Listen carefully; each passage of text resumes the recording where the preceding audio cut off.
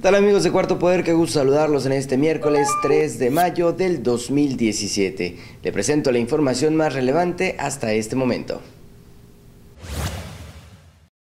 El presidente del Consejo Coordinador Empresarial de Chiapas, David Zamora Rincón, condenó los hechos ocurridos el pasado fin de semana al interior de las instalaciones de conocida empresa refresquera de talla internacional por jóvenes que con el rostro cubierto con pasamontañas voltearon llantas para arriba a un número considerable de vehículos y cometieron otros destrozos al inmueble.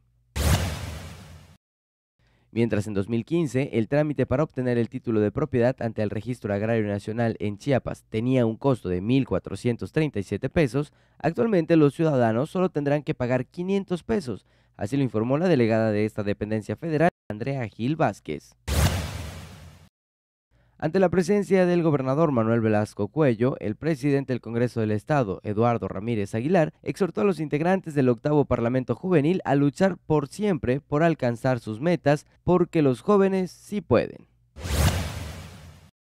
El gobernador Manuel Velasco Cuello sostuvo un encuentro con participantes del octavo Parlamento Juvenil 2017, Tu voz es el futuro, donde subrayó la importancia que tienen para el progreso de la entidad la participación de la juventud, a través de iniciativas como las que se presentaron y que serán tomadas en cuenta para enriquecer las leyes.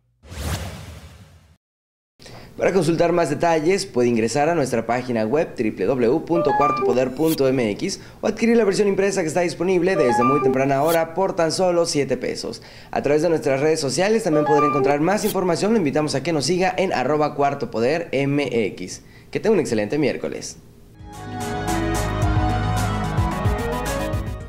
Ponte en línea con Cuarto Poder.